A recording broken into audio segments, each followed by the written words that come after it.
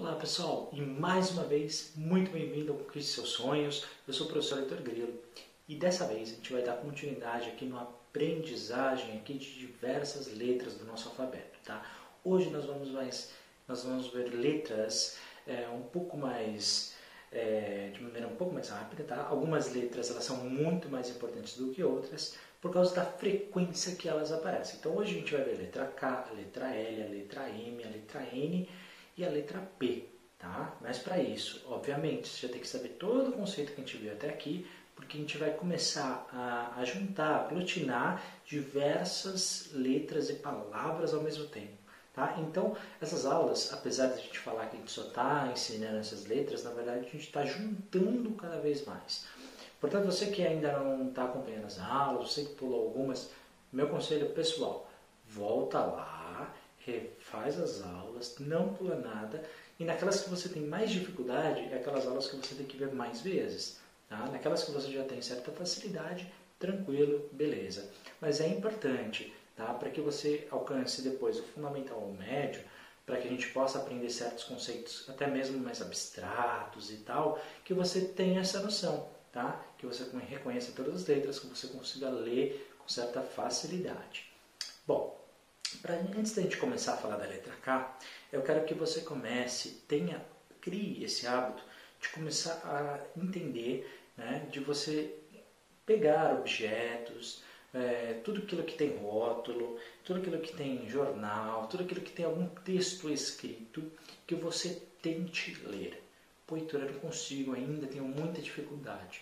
Não há problema nenhum, mas você tem que criar o hábito de pegar, né, textos, tal, anúncios, panfletos, aqueles que entregam na rua e tentem ler sílaba por sílaba. Junta uma letra na outra e vê o som que dá. Aí então eu não sei. Você tem esses vídeos, volta, vê qual é o som, ah, beleza, vem para cá. Por isso que eu dou essas aulas fragmentadas, divididas, justamente para que você consiga ter acesso tá, a, a saber, olha, de repente, Heitor, eu tenho dificuldade na letra L. Então você vai na aula que tem correspondente à letra L e você vê qual é o som, você consegue identificar, você consegue consultar. Além disso, você tem o seu caderno. O seu caderno não é só para você acompanhar as aulas, é também, mas é um caderno de consulta. Principalmente nesses primeiros dias do processo de alfabetização, a, a memória às vezes a gente esquece. De repente, num dia que você, pô, é muito fácil a letra L de repente você acorda amanhã, pô, como é que é mesmo aquilo? Então demora ali alguns dias tá? para que você consiga ter essa facilidade no processo. Bom, até aqui, beleza, né? Então vamos começar com a letra K. A letra K, pessoal, é uma letra que há pouco tempo foi acrescentada no nosso idioma, tá? na nossa língua portuguesa. Até pouco tempo ela não existia, existia, só que é uma, é uma letra que ela não nasceu no nosso idioma, a gente foi acrescentado. Tá? Ela é muito comum, por exemplo, é, em, no inglês, por exemplo. Tá? Não é a única, tem outras duas letras que a gente vai ver lá no final, que elas também aparecem muito no inglês. Tá? Então, nos Estados Unidos, na Inglaterra, aparece bastante, muitas palavras né, apresentam, utilizam a letra K. Mas por que, que elas apareceram no nosso idioma recentemente? Eles acrescentaram porque muitas das palavras agora, agora que nós utilizamos, às vezes aparecem. Então o pessoal que não sabia fala, pô, como é que uma palavra que não está uma letra que não está no nosso idioma, de repente agora a gente usa, mas não está lá. Era estranho para algumas pessoas. Então, para resolver isso, acrescentaram um, essas três. Tá? E essa é uma delas, a letra K. A letra K ela tem o som é, justamente como ela, ela, é, como ela diz, tá? É como se fosse mais ou menos parecida com a letra C, mas você pode falar que o K ele tem mesmo som dela própria. Então, como assim, Heitor? Então, eu vou te dar dois exemplos, tá? É, onde ela aparece. Ela vai aparecer muito em nomes próprios, em nome de pessoas, tá? De repente até alguma cidade. Mas em nomes de pessoas ela aparece bastante. Quer ver? Eu trouxe dois exemplos para vocês. Alguns nomes, algumas pessoas que chamam Kátia, ela começa com K. E outras pessoas, por exemplo, que chamam Karina, também ela escreve com K. Mas ela vai ter mais ou menos a mesma sonoridade do C. Tá? Mas algumas pessoas escrevem com C, algumas pessoas escrevem com K. Quem escolhe isso? A mãe e o pai da pessoa, tá? Não posso fazer nada. É isso. Então, por exemplo, vamos supor a primeira palavra aqui, Kátia. K com A tem o som de C, lembra? Então, C com A era K. Então, K com A vai também ser K. Então, é Kátia. Tá? Kátia. Junta tudo, Kátia. Beleza? Próxima palavra, a palavra Karina. Karina. K com A. Ok? Karina. Termina com A. O som tem que terminar com A. A. Karina. Beleza? Rápido, direto, simples. Só para que você consiga, só caso um dia você veja essa letra e depois fala, pô, fiz as aulas do professor Heitor, não me ensinou essa letra. Tá? Então é importante referenciar. Ela vai aparecer com muita frequência? Muito pouquinho. Tá? Lembrando, ela é uma linha, depois do meio dela, dessa linha, ela vai uma para cima, uma para baixo. Tá? É assim que se desenha. Ah, a letra L. A letra L, essa não, essa sim é muito comum, aparece bastante em muitas palavras, tá? Então ela, ela vai, é um traço que vai de cima a baixo e depois ele só tem uma linha na, na parte de baixo dele, tá? Não tem em cima, não tem no meio. Então essa é a letra L, letra L, tá? A letra L, ela com L com A vai ficar lá, L com E vai ficar lê. L com I vai ficar li, L com A vai ficar ló e L com U vai ficar lu. Então como é que fica tudo? Lá, lé, li, ló, lu. Lá, lé, li, ló, lu. Beleza? L com A é lá. Então nós temos aqui, eu trouxe para vocês quatro palavras que aparecem é, muito comum no nosso dia a dia. Então vamos lá. Primeira palavra, a palavra lápis. Tá? Leia ela devagar. L com A, como é que é? Lá. Então a gente sabe que é lá. E o resto? O resto eu vou ler para você. É pis. Então junta tudo. Lápis. Lápis, aquilo que a gente usa para escrever. Tá? A próxima palavra que eu trouxe, uma palavra que aparece bastante, é nome particular, é nome de pessoas, né? É, é um nome comum. Então é Larissa. Já conhece alguém chamado Larissa? Pois é. Larissa, as duas primeiras letras, a gente tem o L e tem o A. Junta tudo, fica lá, ok? Larissa. Beleza? Por fim, nós temos a palavra lua, L com um é lu, e o último som. Fecha o olho e fala devagar. Lua. Tem dois sons. O último som é a letra A, ok? L com um, lu. Último som A. Junta tudo, lua. Como é que é a palavra? Lua.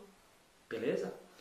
Por fim, a palavra lei. Essa eu acho que até você conseguiu sozinho na sua casa, não conseguiu? É, porque a gente junta o L e o E fica lê. Lê de leitura, né? E o I no final, o som de I. Lei. Junta tudo, lei. Lei, tá? Lei é aquela que a gente tem que cumprir no nosso dia a dia, não é? E para completar, ela é muito fácil, né? É aquela linha, depois só embaixo. Cuidado, não tem traço no meio, nem traço em cima. Agora a gente vai falar de três letras que eu acho que você já viu muitas e muitas e muitas vezes, tá? É, e que é muito comum ela aparecer, muito comum, essas três letras que a gente vai ver, tá? A primeira delas, a gente vai ver com muita calma, é a letra M. A letra M, M, M de Maria, tá? É, o M, ele, é, ele, é, ele aparece bastante.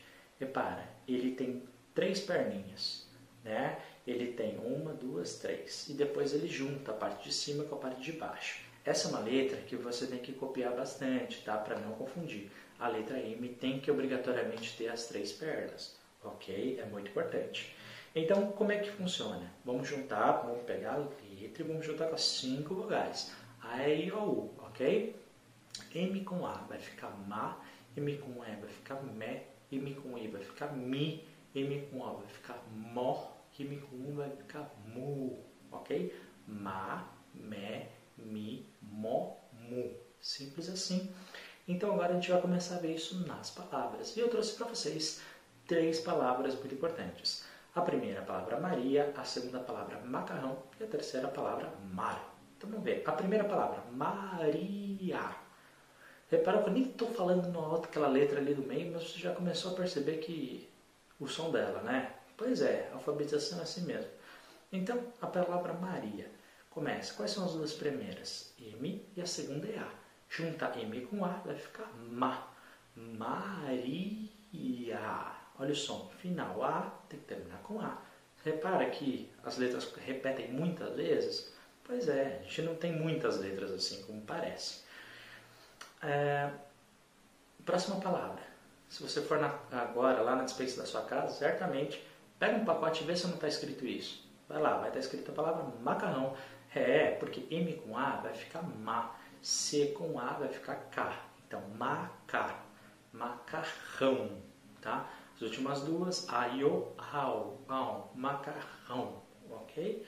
E por fim, a palavra mar. Mar de oceano, não é verdade? É só juntar M com A, vai ficar ma. E o R no final, já digo já, ele tem o som de R, R. Então fica mar, mar, ok?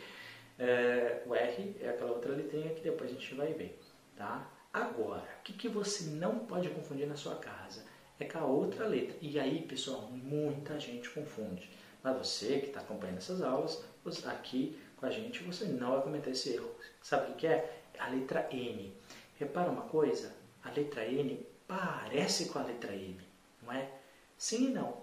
Pode até parecer, mas se você for reparar, ela só tem duas pernas, não tem aquela terceira, tá? Então você sobe, desce e depois sobe. Você não desce ela de novo, tá? Então a letra N, ela é diferente da M. A M é M de Maria, o N é N de navio, tá? Então o N com A fica na, N com E vai ficar né, N com E vai ficar ni, N com O vai ficar nó e N com U vai ficar nu.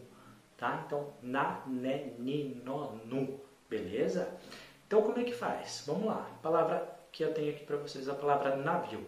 A palavra navio, junta N com A, vai ficar na. E as outras três, V com I vai ficar vi, não precisa saber, já estou te falando. Mas você sabe que ela termina com IO, IO, né? porque são as duas últimas letras. Então, junta tudo, navio. Beleza? É no seu caderno. Não vai comer bola, não esquece. Não é para pular a palavra, ok? Próxima palavra, a palavra Nordeste. Tão importante, né? Região tão importante do nosso país. Como é que a gente escreve? N com O vai ficar nó. Como tem aquele Rzinho, que a gente já vai ver daqui na próxima aula, fica R. Então, nor, nor, ok? Depois junta tudo, deste ok? Nordeste, o que você tem que se importar é com NO por enquanto. NO Nordeste. Repara, todas elas que a gente está vendo aqui, tanto no M quanto no N, elas estão começando, né? Ou com M ou com N, mas elas podem aparecer no meio da palavra também, tá? Mas é muito mais fácil para a gente identificar nesse começo, é, no começo delas, por isso que eu estou trazendo. Por fim, a palavra norte, né? Da região norte, ou de direção norte, também pode ser. A palavra norte, N com O fica nó, com Rzinho no final, nor, norte, com E ali no final, ok? Norte. Por fim, a palavra, a letra P. A letra P, pô, aparece direto no nosso, na nossa língua portuguesa, né? Você já deve ter visto várias vezes ela parece com a letra B que a gente viu lá atrás, só que não tem aquela parte de baixo. Né? Então você tem ali um traço e depois ali só tem a primeira voltinha ali em cima. A letra P ela aparece com bastante frequência no nosso vocabulário. E como ela funciona junto com as vogais? Bom, vamos lá. P com A fica pá, P com A fica pé, pé. Também é pé e é, só o é. P com I vai ficar pi, P com A fica pó, e P com U fica PU. Ok? Pá, pé, pi, pó, pu. Simples assim. Agora, olha essa palavra que eu trouxe para vocês, a palavra Paulo. Eu tenho um grande amigo que chama Paulo. E como é que escreve o, o, o nome dele? É P com A, fica pá, depois a letra U sozinha, então Paulo, depois L com A vai ficar Lô. Então junta tudo, Paulo. Simples assim.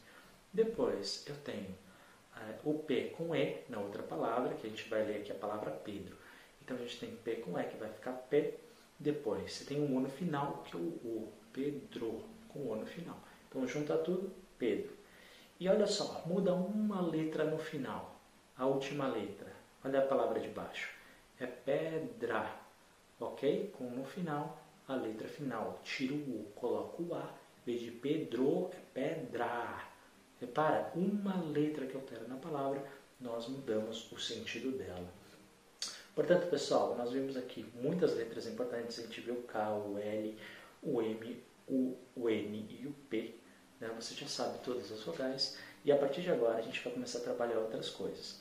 Mas para isso é importante que você continue a estudar na sua casa, você continue a acompanhar, você continue a fazer os exercícios todos, tá? Comece a ler, comece a estudar, vai atrás. E onde você tem mais dificuldade é onde você tem que estudar mais. Não esquece disso, tá bom? Espero que vocês tenham gostado dessa aula. Qualquer dúvida, já sabe, né? Só entrar em contato comigo e bons estudos para você. Forte abraço e até a próxima. Tchau!